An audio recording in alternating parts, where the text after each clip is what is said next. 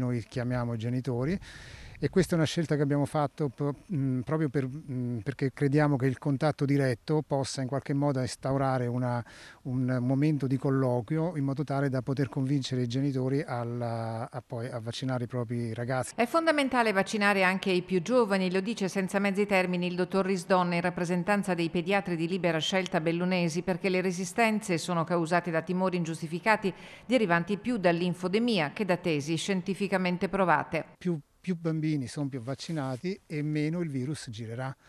Se noi non facciamo questo lavoro e che permettiamo al virus di eh, continuare a circolare tra gli adolescenti, le mutazioni che in- inevitabilmente ci saranno nel futuro saranno comunque sempre più aggressive e cominceranno a, a, a creare problemi anche clinici anche ai bambini. A San Martino attualmente sono otto i pazienti ricoverati, uno di questi in terapia intensiva e fra i sette in area subintensiva c'è un paziente dodicenne, mentre è delle ultime ore il ricovero in pneumologia di un giovane di 30 anni non vaccinato. 19 di agosto dello scorso anno non avevamo nessuno ricoverato, oggi abbiamo 8 persone.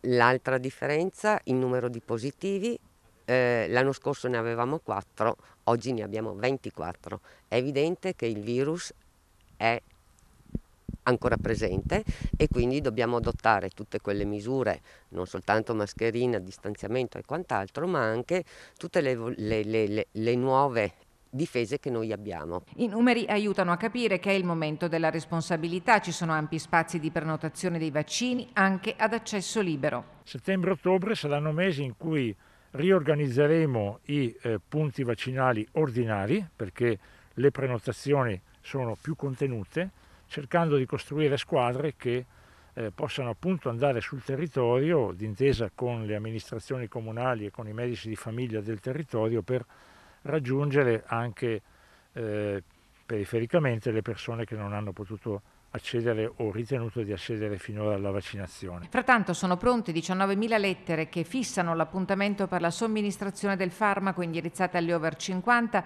e a una quota di soggetti guariti dal Covid che non hanno eseguito la vaccinazione di rinforzo.